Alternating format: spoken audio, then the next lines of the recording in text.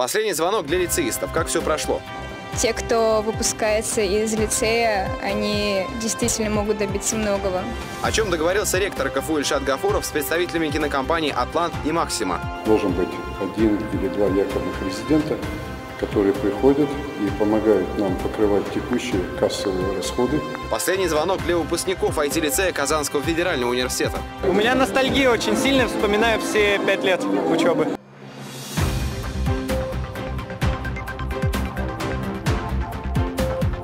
Всем привет! В эфире «Универньюз», а в студии Илья Андреев. Казанский университет успешно прошел аккредитацию, процедуру признания качества образовательной деятельности в соответствии с установленными стандартами. Экспертиза проходила по всем образовательным программам, реализуемым вузом в рамках направлений подготовки, в том числе бакалавриата, специалитета и магистратуры. Ректор Казанского федерального университета Ильшат Гафуров встретился с председателем Совета директоров ООО «Атлант» Юрием Туроховым и директором кинокомпании «Максима» Яной Туроховой. Что обсудили и какие были намечены перспективы сотрудничества, расскажем в сюжете.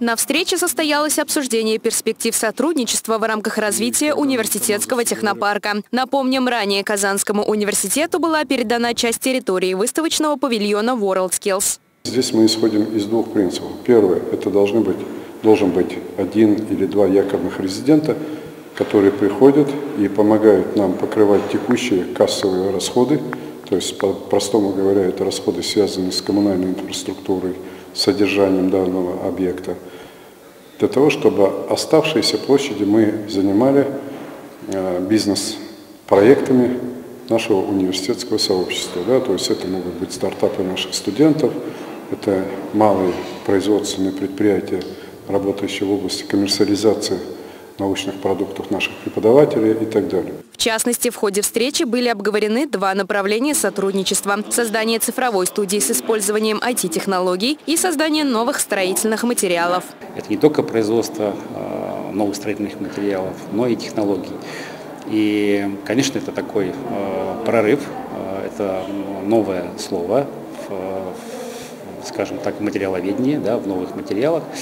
И мы надеемся, что у вас появится новый современный, очень удобный, комфортный поселок коттеджный со всей инфраструктурой.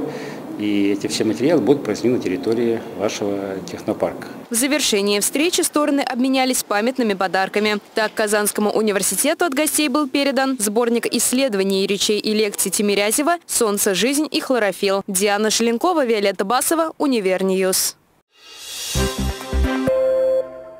В Казанском федеральном университете состоялось вручение ректором КФУ Ильшатом Гафурова сертификатом победителем конкурса от Республики Татарстан на получение грантов президента Российской Федерации для государственной поддержки научных исследований молодых российских ученых, кандидатов наук, докторов наук и ведущих научных школ.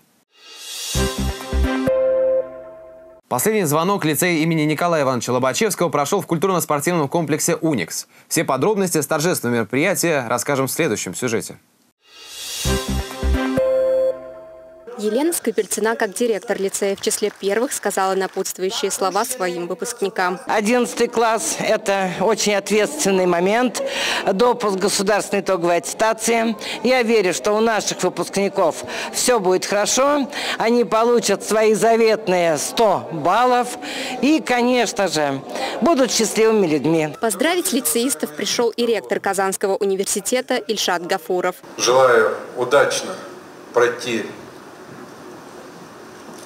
этот аттестационный период, получить хорошие результаты и стать студентами высших учебных заведений нашей страны. Выпускники лицея не просто показали концерт для гостей, но и поделились своими эмоциями и выразили благодарность преподавателям. Эмоции естественно, присутствуют, эмоции разные, то есть одновременно и радость, и грусть. Это все-таки все одновременно сочетается. Но, с другой стороны, это большой шаг во взрослую жизнь. Фарида Ишкинеева от имени родителей выпускников поздравила учеников с последним звонком. Мы очень надеемся, вот то, что вот, э, несмотря ни на какие трудности, которые сегодня имеют место быть, у наших детей будет хорошее будущее.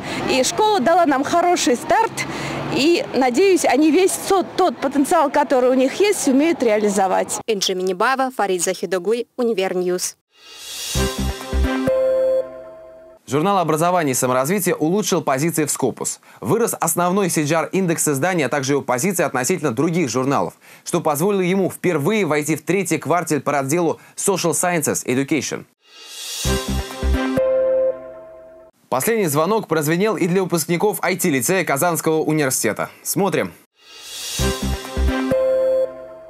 Пять лет пролетело незаметно как один день. Мы очень счастливы, очень рады, очень гордимся, что заканчиваем этот лицей, IT-лицей. Это страшный день. Оказывается, у меня ребенок уже вырос. Это, это очень печально для меня.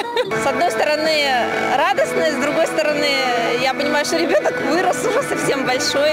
И радостно, и грустно сегодня не только родителям, но и ученикам. Впереди экзамены и совершенно разные планы на приближающуюся взрослую жизнь. Чтобы оставить яркие воспоминания, выпускники напоследок продемонстрировали все свои таланты – стихи, танцы и песни.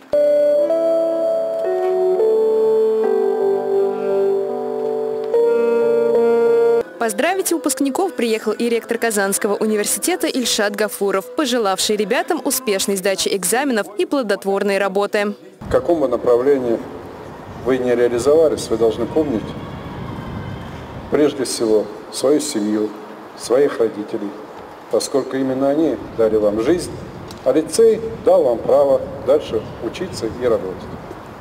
Я желаю, чтобы вы выбрали хорошую профессию, которая бы радовала вас по жизни и помогала вам по ней идти. Не хочется все покидать место, э, расставаться с друзьями, с одноклассниками, с учителями. Поступали мы сюда не зря и окончили мы его действительно с достоинством и гордостью. У меня ностальгия очень сильная, вспоминаю все пять лет учебы. Лицей очень много дает возможностей, и нужно не упустить их все. Новый этап жизни, и много всего впереди, и просто стоишь на пороге новой жизни. По традиции мероприятие завершилось последним звонком для выпускников. Диана Желенкова, Виолетта Басова, Универньюз.